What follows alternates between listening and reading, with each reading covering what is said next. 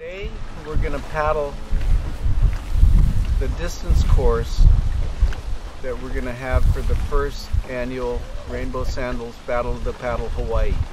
It's a beautiful run. We're going to run from Hawaii Kai here all the way down to Kaiser Lagoon, Duke Kahanamoku Beach in front of Fort DeRussy. It's about a 10 mile run.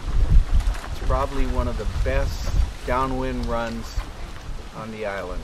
Looks like we got a good day.